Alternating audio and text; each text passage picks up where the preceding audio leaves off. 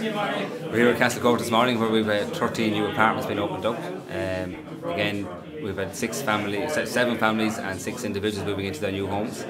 Uh, it was nice to have a chat with them and meet them and talk to them about their story. With one, one young lady, Joanne, had spent uh, nearly her whole life at this age in different kinds of care and emergency care and emergency accommodation.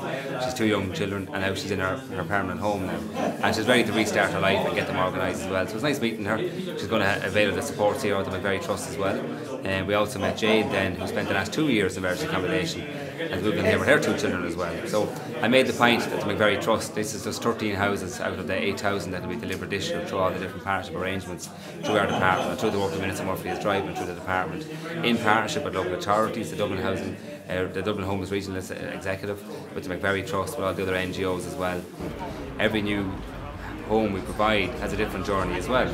This one, this, these were these were vacant properties, uh, took, took over and bought over by the housing agency.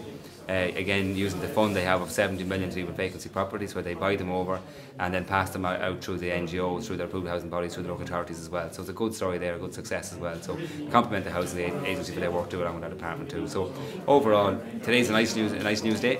We know we've a lot of work to do still. And again, it's something that I'm very clear Eoghan, so is on Murphy, so is Leo Varadkar, that we can't uh, stop or roll back on any of our efforts until we have everybody found a home.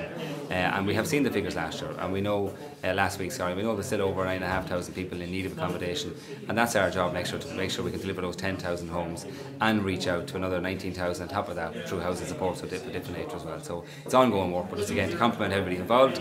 And today it's, it's McVerry Trust are opening these properties and manage these. We also launched our annual report, which looks back over uh, again a spend of 2017 of 24.5 million, 14.5 million from the taxpayer uh, through our department, through the different agencies, and they also raised of their own money over 9 million as well. So good success here all around, but we need to keep going and keep doing